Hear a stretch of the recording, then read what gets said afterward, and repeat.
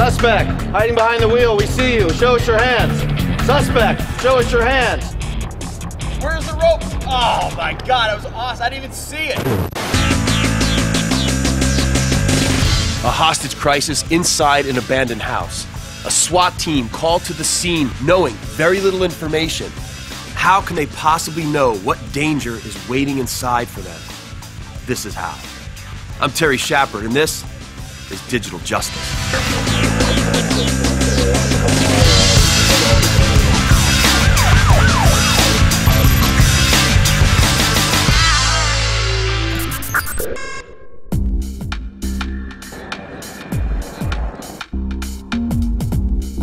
At a tactical conference in San Diego, Amy Barmore of Recon Robotics shows off one of the latest tools available to SWAT teams across the country the Recon Scout. The robot was actually developed at the University of Minnesota. It was under a DARPA project, and some of the students decided to bring the product to market, and they started the company with the concept of a throwbot. Yeah, how does this thing work? What's inside of this? And, and It's basically a visual camera, so a set of eyes on the inside. There's a camera here, an IR bar, so that in complete darkness the camera will see. And then this is just the screen, and so with a single joystick, they can watch the screen, drive the robot all around, clear a building, a roof, rooms. We have 2,200 in the field, and that's that's worldwide in law enforcement, federal, and military. Uh, they they love them.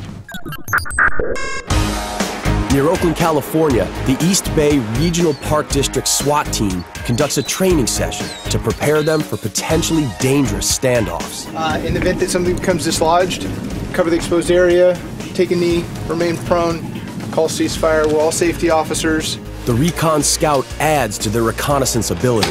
Has this helped you guys, at least if not taking down a target, but keeping you guys safe? Oh, absolutely. We've uh, we've used it on numerous missions. We've had it for about a year now. Is it pretty user friendly, like you said? Oh yeah, like I said, once you get used to it a few times, you figure out how to work it real easily, and you can make it go wherever you want to go.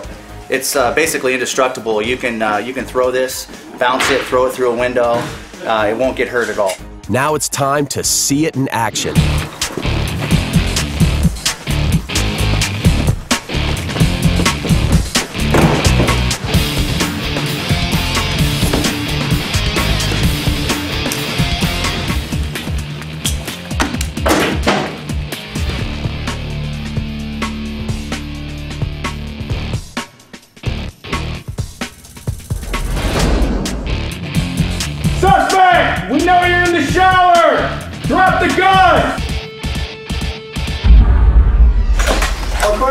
Nice, guys. We're going to be an innovative company, but we're not going to be a company that we think this is a brilliant idea, so we're going to make it. We're going to listen from the field. So, perfect segue here. Let's talk to these guys. All right, so, Anthony, tell me a little bit about this. Now, um, is there a recent uh, time you've deployed this, and, and how did it work out? About a year ago, uh, we had a uh, bank robbery. We were able to deploy the robot and search the bank and actually find three tellers that were hiding within the bank. We called them out. We were able to rescue the tellers. And we obviously had an advantage when we sent that in first, and we kind of know what the hard corners are clear when we first go through the front door. So we kind of know, like I say, it's not clear until we say it's clear, but we we definitely have an advantage on the suspect. So, I mean, if someone came up to you and said, "Hey, has this has this uh, made you better and also saved lives?" You would definitely say, Absolutely, And- absolutely. Back in Oakland, the SWAT team continues with their training, but this time, the robot is paired up with a furry friend. And even I get in on the excitement. It was, it was funny, Lance, you, when you gave it to me. Basically, I had no training. You told me to pull the pin, throw it, and then turn this on, right? Right. Uh, I purposely didn't want you to have any uh, manipulation with the robot yet because I wanted you to see how easy it worked. Yeah. You were able to um, to get your bearings with the robot, uh, maneuver the robot around the room, find the suspect, and I was able to pass that information on to uh, the canine handler. Suspect! You don't come out right now, I'm gonna send the dog! Okay, suspects kick the robot. Deploy him.